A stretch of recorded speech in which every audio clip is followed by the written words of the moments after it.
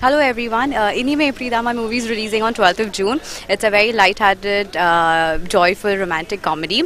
I play a character of this girl called Maha. She's a college-going girl, very bold, very vivacious, uh, very close to me in my real life actually. And uh, it's a total commercial entertainer, total mass movie, and I hope you'll like it.